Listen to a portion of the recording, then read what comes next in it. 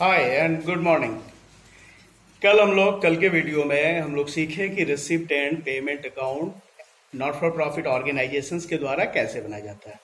आज हम सीखेंगे कि रिसिप्ट एंड पेमेंट के बाद इनकम एंड एक्सपेंडिचर अकाउंट जो गैर व्यापारिक संस्थाएँ बनाती हैं, वो कैसे बनाती है। इनकम एंड एक्सपेंडिचर अकाउंट चूँकि ये अकाउंट है तो बिल्कुल रिसिप्ट एंड पेमेंट की तरह इसके भी दो पक्ष होते हैं डेबिट साइड क्रेडिट साइड इसके डेबिट में सारे रेवेन्यू पेमेंट्स इसके डेबिट में सारे revenue payments only capital payment नहीं. इसके डेबिट में सारे रेवेन्यू पेमेंट को लिखा जाता है और इसके क्रेडिट में सारे रेवेन्यू रिसिप्ट को लिखा जाता है.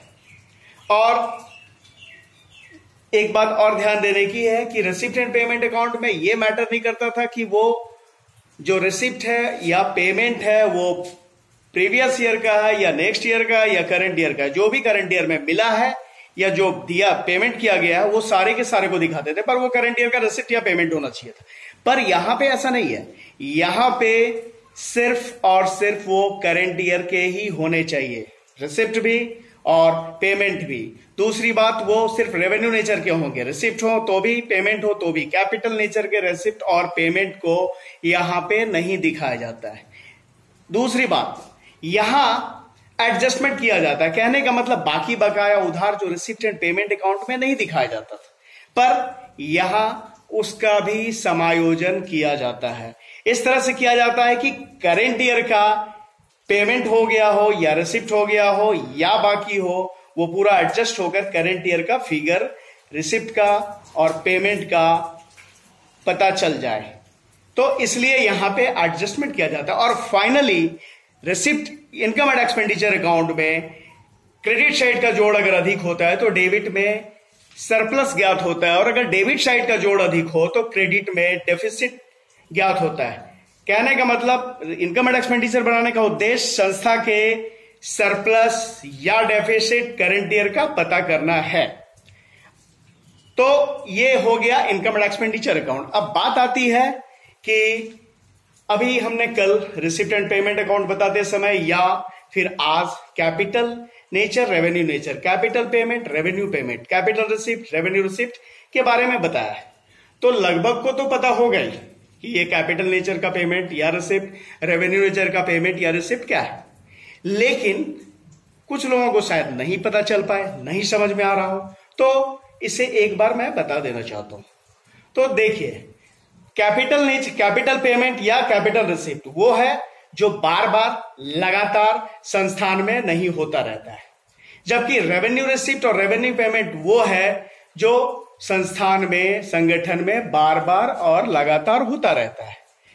इसे हम एक एग्ज़ाम्पल सपोज़ हम हॉस्पिटल का एग्ज़ाम्पल लेते हैं कि हॉस्पिटल में क्या कैपिटल पेमेंट है, क्या रेवेन्यू पेमेंट है, क्या कैपिटल रिसिप्ट है, क्या रेवेन्यू रिसिप्ट है, ये हम समझाने का आपको कोशिश करते हैं, जिससे शायद आपका कैपिटल नेचर के रिसिप्ट और पेमेंट और रेवेन्यू नेचर के रिसिप्ट एंड पेमेंट के बारे में समझ में आ जाए।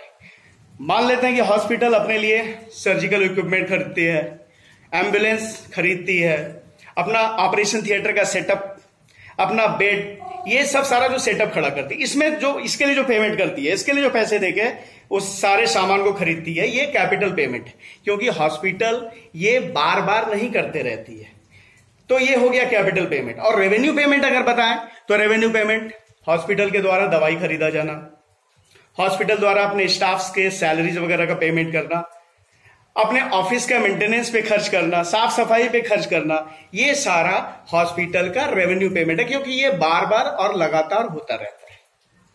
अब रह गया कैपिटल रिसिप्ट की बात तो कैपिटल रिसिप्ट मान लीजिए संस्थान के पास कुछ सर्जिकल इक्विपमेंट है जो अब लग रहा है उस हॉस्पिटल को कि ये हमारे यूज़ के लायक नहीं उसे बेच दिया। ये पुराना हो गया, इसे बेच दो।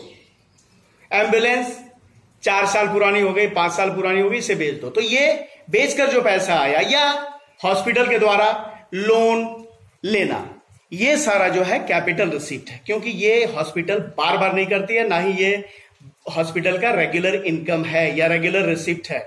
जबकि तो ये सारे जो पैसे आए, एंबुलेंस बेचकर, वो सर्जिकल सर्जिकल इक्विपमेंट बेचकर तो ये सारे जो पैसे आए, कैपिटल रिसिप्ट है। अब रेवेन्यू रिसिप्ट क्या होगा? हॉस्पिटल का।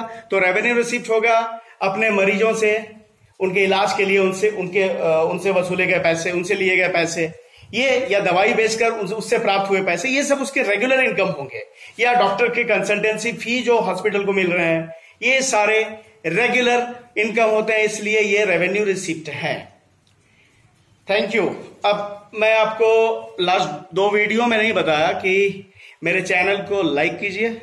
सब्सक्राइब कीजिए और बेल बटन को दबाइए। अगर मेरा वीडियो आपको पसंद आ रहा है तो थैंक यू वेरी मच।